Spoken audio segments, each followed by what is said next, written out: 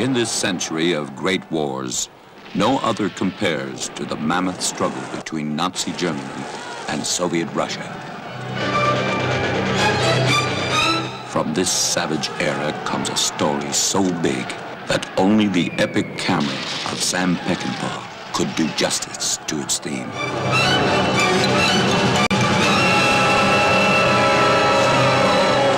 As the once invincible German army was hammered back in the year after Stalingrad, survival came to depend on two kinds of soldier.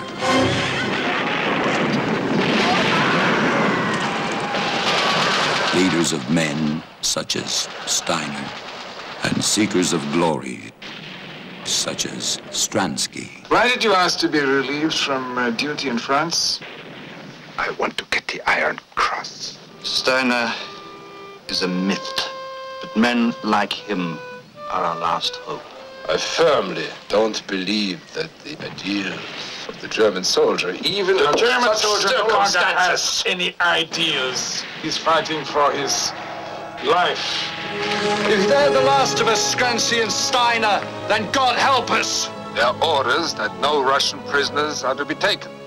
Get rid of him.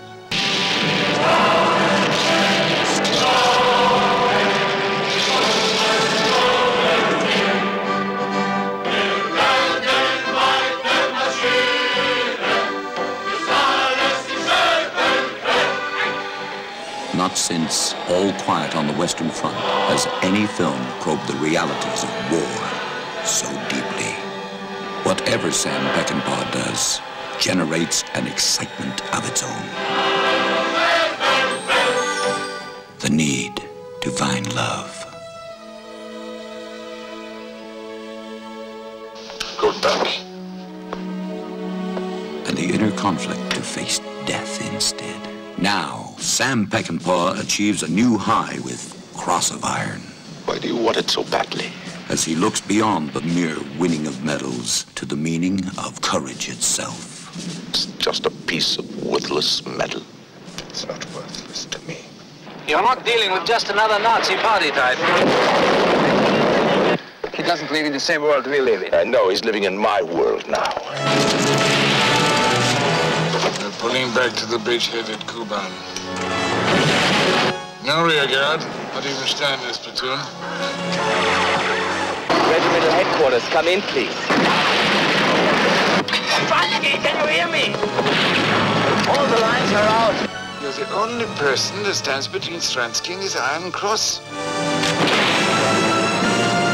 Without Steiner to contradict him, he'll get his Iron Cross. Stransky in Paris, Steiner.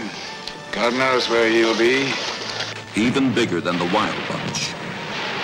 More exciting than Straw Dogs and The Getaway. Now, Sam Peckinpah brings you the most epic story of them all. Cross of Iron. Leaving without your Iron Cross, Captain.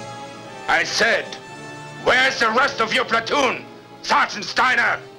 Captain Stransky, you are the rest of my platoon.